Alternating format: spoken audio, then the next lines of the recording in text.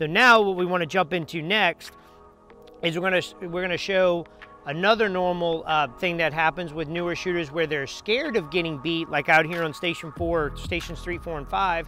So they start leaving a little early. They end up way in front of the target, and then they end up having to bleed off some lead to try to get back to it, or they end up missing in front. Let's go ahead and show that demonstration next.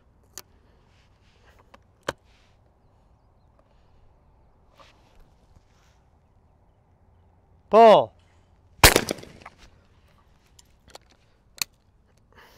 Here, guys, we see that as soon as I said pull, I started moving right away, and we check out the simple panoramic view of this shot. You see that there's the, the gun started moving like right away.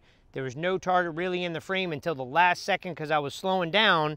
And when you look at the track feature, it also shows you the same thing. Leading up to the shot, slowing down, slowing down, and at the last second tried to save it by pushing the gun. Now, again, those are these are some of the common things that you're going to see you know, when you're when you're shooting either by yourself or youth coaches when you're trying to help others, you're not going to see perfect shots every time. So when you see things like this, you got to figure out what's going on. And in this case, this is a this is a perfect example of the shooter leaving early, and the pull away shot or the or the swing through shot indicates that the shooter is leaving a little late in the beginning. Both uh, or both scenarios, you've got to fix the start. You got to figure out what's going on at the beginning of the shot. Is it the hold point that's the issue, the look point? Is the shooter not reacting fast enough? Those are the things that you have to diagnose and jump into. Now let's go ahead and take a look at a shot where the shooter is in perfect position, but just doesn't elevate quite up to it. Oh, I got one in there.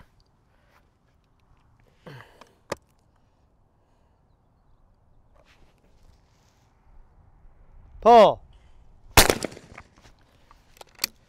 So again, guys, when we look at this simple panoramic shot, we see the target come out. The gun is in pretty good position for the majority of the way, but the left hand simply did not elevate up to the target. Now, this brings up an interesting conversation because if you are track, if you see your shooter yourself, you're tracking the target really well, you're getting a really good look at it, and you feel like your left hand is elevating towards that target flight line, but you're continuously under the target, that goes back to a point of impact like we talked about on station seven.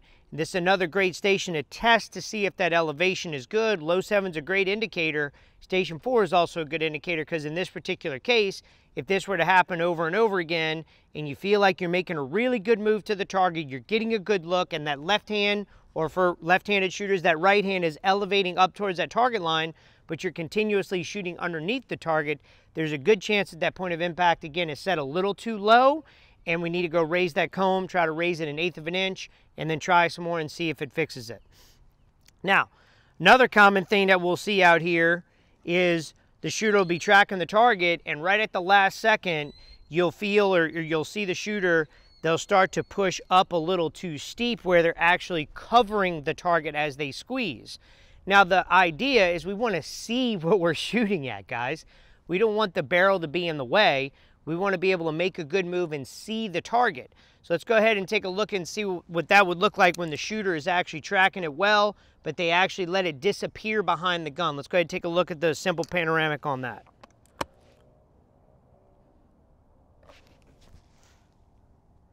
Pull.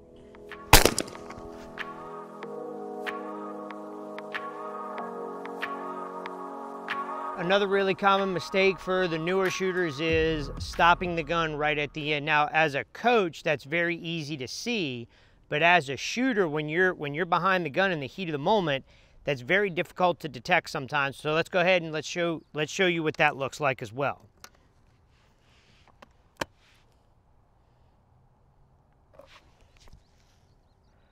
Pull.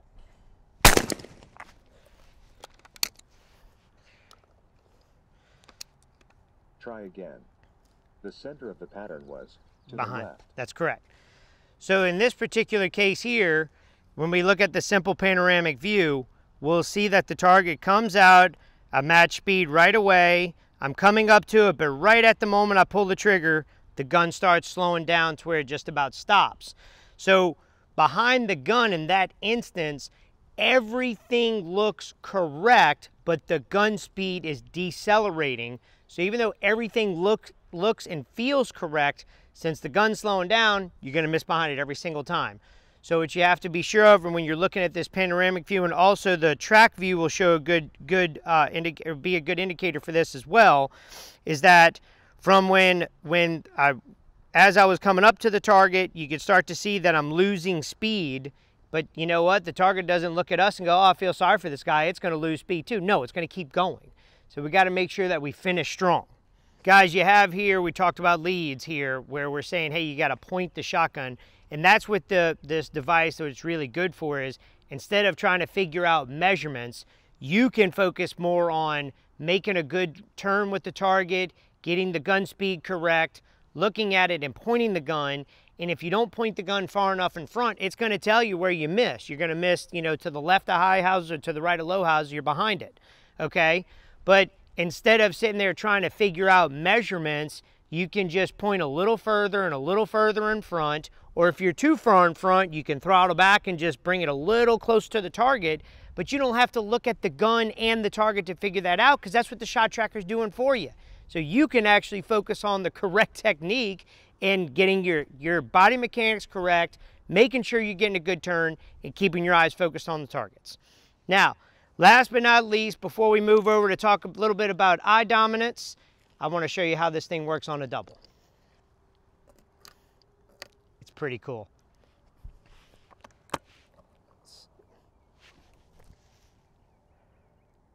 Paul. Please pick it up. Please Good shot.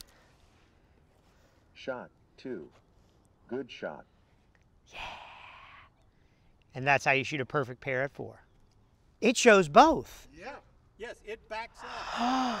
yes, it shows the second shot. Remember, it's a second before. I've never seen this before. This is awesome. Okay.